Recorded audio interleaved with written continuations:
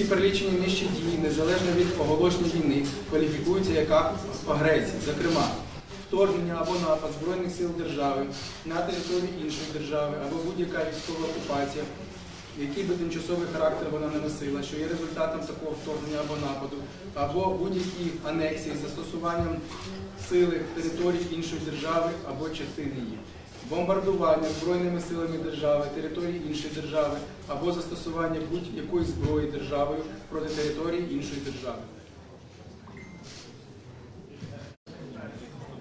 Право на апеляційне оскарження вам зрозуміло, право помилування. Зрозуміло.